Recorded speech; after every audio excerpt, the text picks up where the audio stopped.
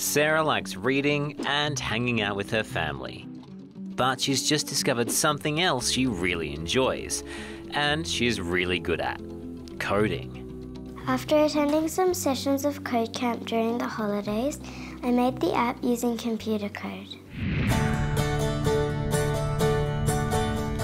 She already had the idea to do something about water safety after learning about it at school.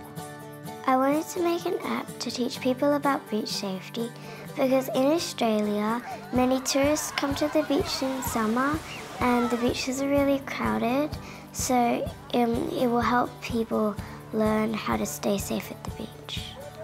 And she quickly learned the skills to bring her ideas to life. It took me a day to make the app, but I also spent another day researching on water safety and sun safety, and I also spent that day doing sketches as well. The app is all about beach safety. It features three mini games on different topics. The first one is about rips.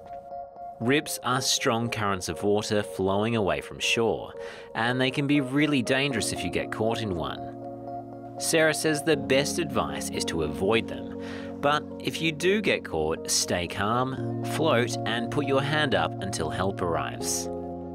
The Riptide Safety minigame is a game where you start between the flags and you have to get to the other end without going outside.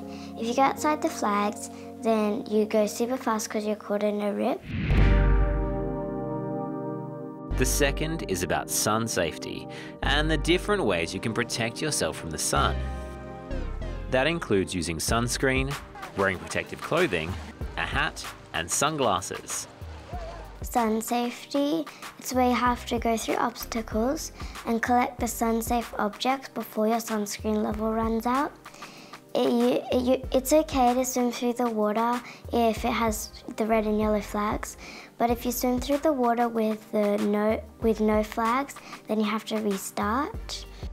The last one is on CPR, or cardiopulmonary resuscitation, which is used when someone stopped breathing and their heart's not beating.